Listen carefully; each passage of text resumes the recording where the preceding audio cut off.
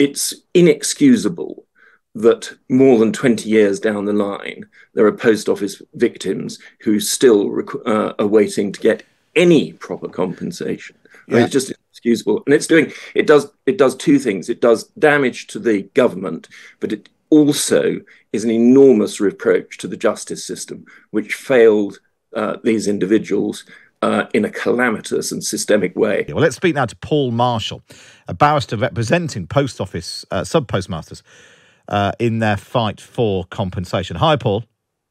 Hi, hi. Morning. Uh, uh, good, good, to have you with us. I mean, presumably you've it's, it's been a good week for you, in as much as it's back in the headlines again, and people who need to face difficult questions are facing difficult questions.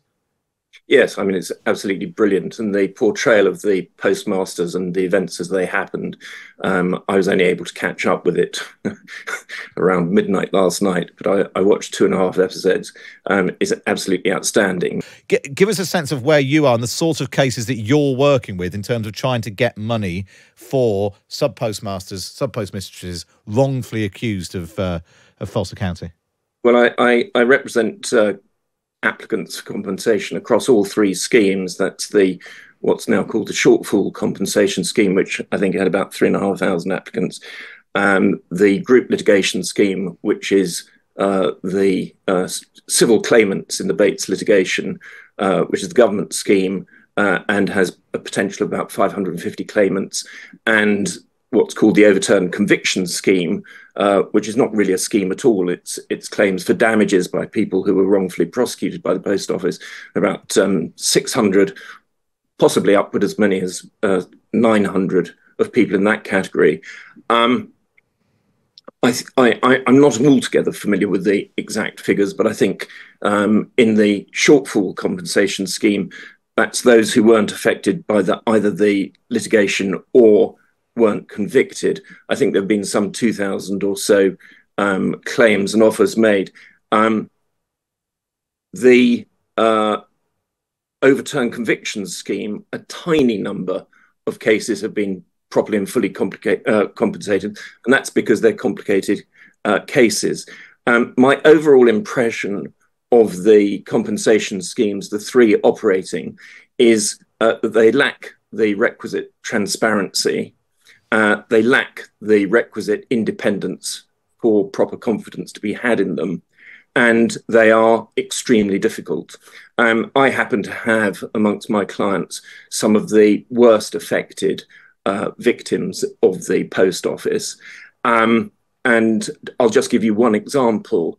Um, Tracy Felstead was 19 when she was prosecuted in uh, 2002 and convicted at the age of 19.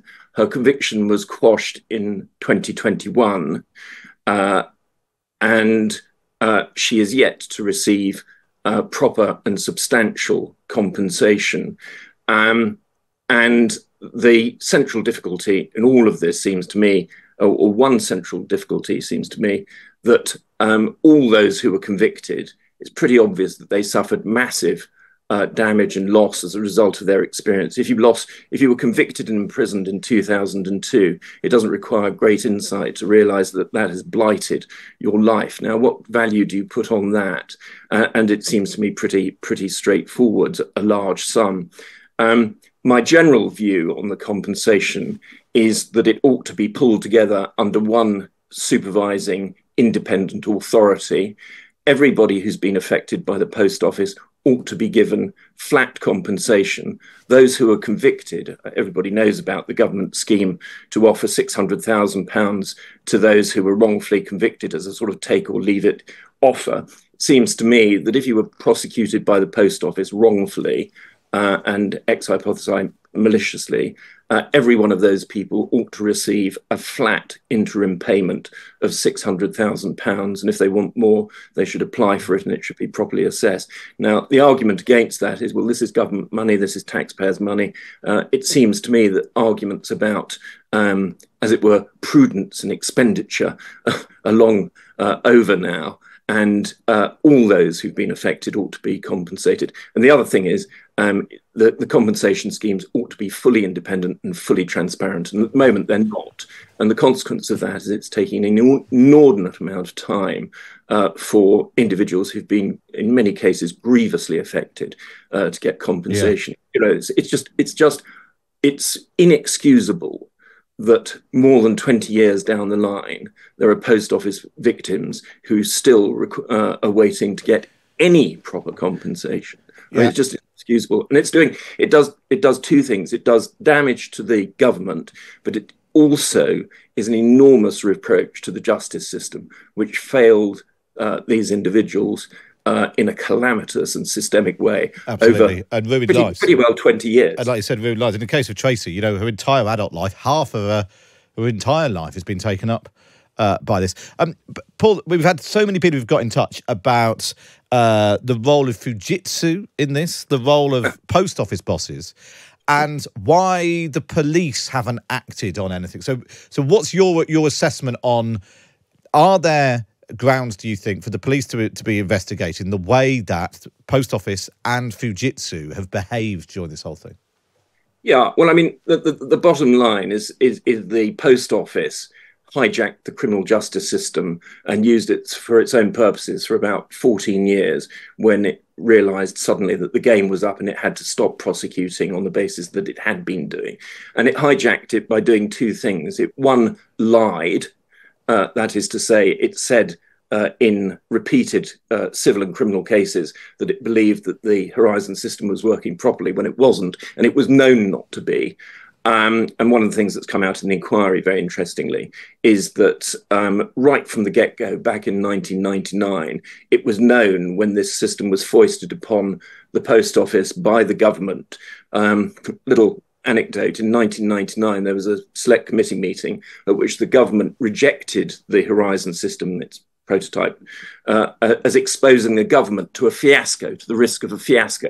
Now that fiasco has eventuated mm. in a slightly different way through the post office. So it was known from the get-go that it was that it was a flawed system. So the post office was driven effectively by the government to pretending that what it was given uh, was a reliable system but it lied to the court. And the other thing that it did systemically was to withhold material evidence on a colossal scale from the courts. And the courts basically depend, all the administration of justice, criminal and civil, depends on the proper uh, and candid disclosure of documents, and that means documents that adversely affect a party's case, doesn't matter whether in civil law or criminal uh, prosecutions.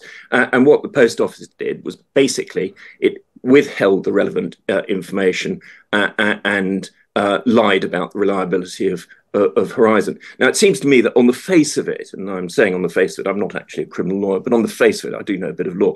Um, on the face of it, there was the most enormous conspiracy to pervert the course of justice, and uh, part of the reason I'm pretty confident that post office, uh, the police haven't done anything thus far, or, and, yeah. and certainly no charges have been brought, is that they're waiting to see what further comes out in the uh, inquiry. But the more that comes out, the more terribly damaging it is. One of the things that's emerged, for example, is that the Post Office, being one of the um, longest established prosecuting authorities in the country, in fact, indeed, the longest established, um, there was no there was no differentiation between uh, the investigation branch of the post office and the prosecuting branch of the post office. And when you put that together with the post office itself being the alleged victim. You have the oh, victim being yeah, the, was... the, the, the, the, victim, the investigator, and the prosecutor. And one of some of the things that really, uh, very interestingly, have come out uh, in the inquiry,